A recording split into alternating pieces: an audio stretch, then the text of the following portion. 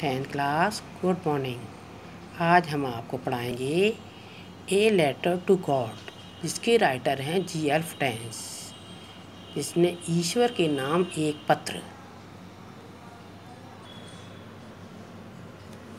हम्म, चलिए। The house the only one in the entire valley sat on the crest of a low hill from the height one could see the river and field of ripe corn dotted with the flowers that always promised a good harvest. The only thing the earth needed was a downpour or at least a shower throughout the morning. Lancho, who knew this field intimately, had done nothing else but seen the sky toward the northeast.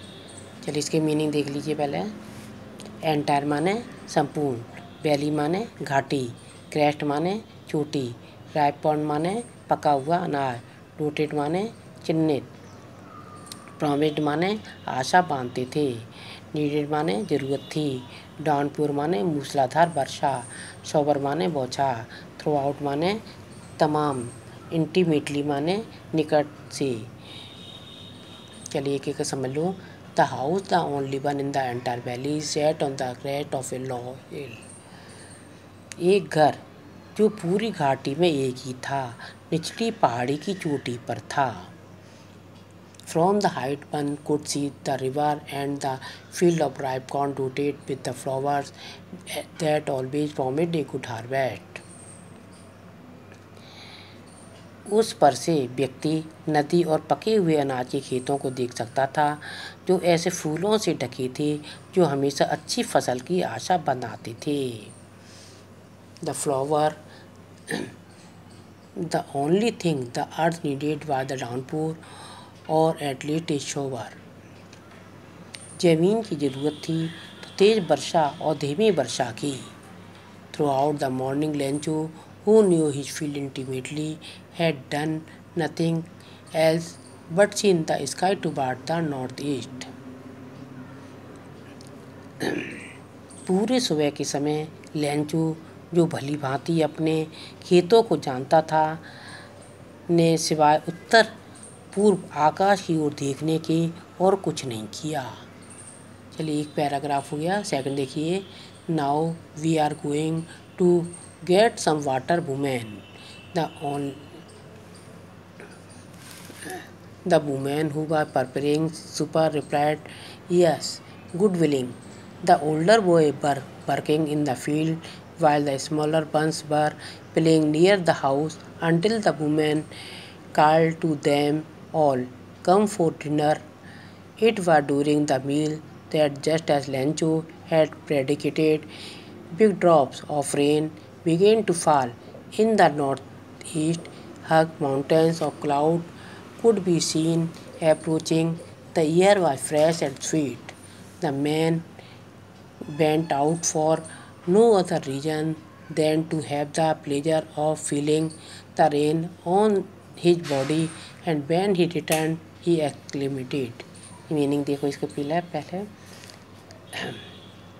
B are माने वास्तव में water माने, पानी। परपरिंग माने, पक रही थी। Super माने, शाम का भोजन। गुड विलिंग माने, भगवान ने चाहा। डिनर माने, रात का भोजन। डूरिंग माने, दौरान।